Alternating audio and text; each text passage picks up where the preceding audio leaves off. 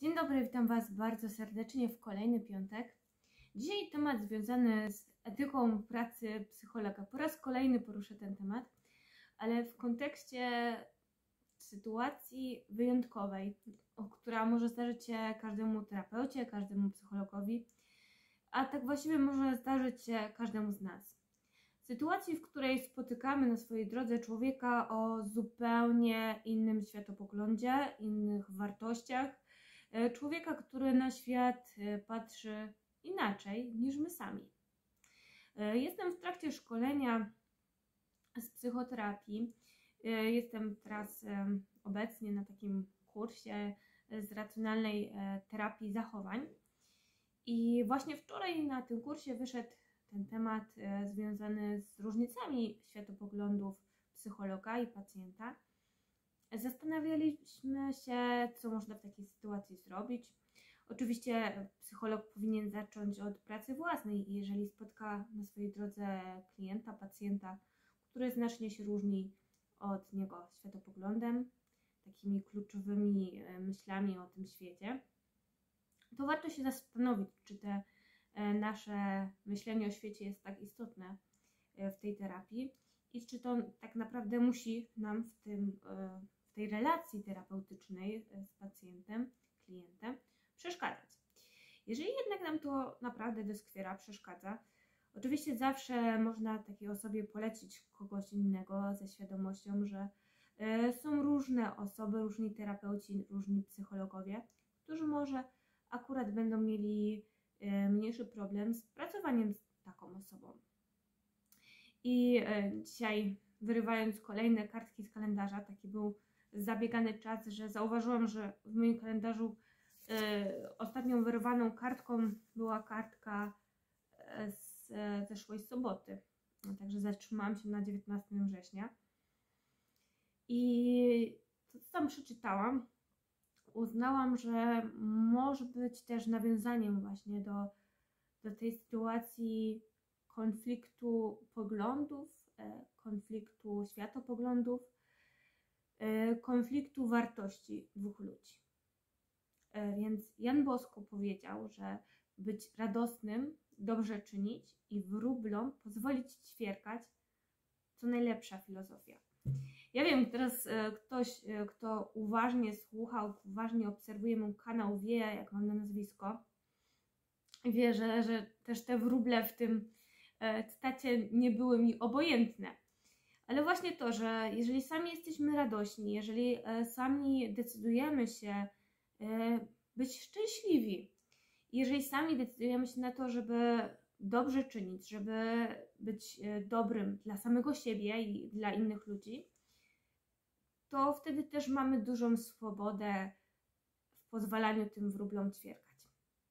Bo przecież to, że my myślimy inaczej, to, że nasz świat w naszej głowie wygląda inaczej niż świat kogoś innego, nie powinno nam przeszkadzać, dopóki ta osoba nie burzy nam naszego światopoglądu. A skoro jesteśmy radośni, mam nadzieję, że również szczęśliwi. Kiedy czynimy dobrze, czyli nie wchodzimy innym w paradę, a jeżeli e, jesteśmy proszeni o pomoc, to wtedy czynimy dobrze innym. Więc pozwólmy wróblom ćwierkać, e, pozwólmy psom szczekać, e, pozwólmy kotom miauczeć, pozwólmy każdemu żyć po swojemu, zgodnie z własnym sumieniem zgodnie ze własnym światopoglądem, zgodnie z własnymi wartościami i dopóki to myślenie o świecie nie zagraża tej osoby życiu i zdrowiu, niczyjemu życiu i zdrowiu, to pozwólmy tym wróblom ćwierkać i pozwólmy im czuć, myśleć o świecie to, co myślą. I jeżeli poznajemy osobę o odmiennym światopoglądzie, a mimo to chcemy z nią stworzyć jaką, jakąś relację, czy to jest relacja terapeutyczna, czy to jest relacja y, partnerska, czy to jest relacja przyjaźni, przecież zawsze są elementy, w których się spotykamy. Przede wszystkim wszyscy jesteśmy ludźmi. I to, co ktoś wnosi do tej relacji, to niekoniecznie będzie to, czym się różnimy. Gdybyśmy wszyscy myśleli tak samo, gdybyśmy byli tacy idealni w tym myśleniu o świecie, byłoby nudno. Ja, kiedy e, spotykam w terapii osobę o zupełnie różnym ode mnie światopoglądzie, pozwalam jej być sobą.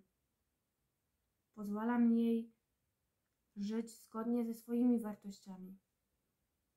I dopóki ta osoba nie przynosi na terapię tych wartości i nie mówi, że to, co myśli o świecie, ją rani. Jeżeli nie dostrzegam, że te myśli są destrukcyjne pod względem myślenia takiego niezdrowego myślenia o świecie, to zostawiam to tak, jak jest.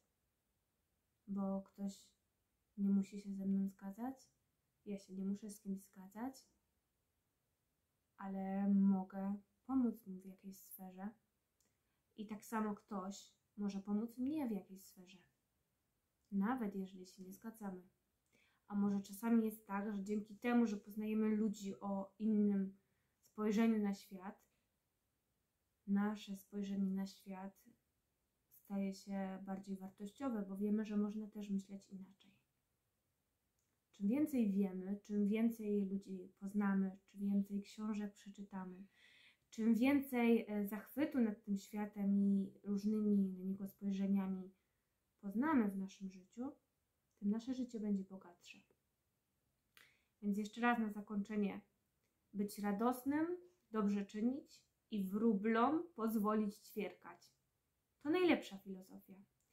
Więc bądźcie szczęśliwi, bądźcie radośni, czyńcie dobrze, czyńcie dobro, tak jak wy je spostrzegacie, a wróblom pozwólcie ćwierkać. I wszystkim moim hejterom y, i osobom, które nie są mi przychylne, dziękuję, jeżeli wysłuchały do końca, a jeżeli nie, to może nie warto komentować czegoś, czego nawet do końca nie oglądaliście. Wszystkiego dobrego i do zobaczenia, mam nadzieję, już w przyszłym tygodniu.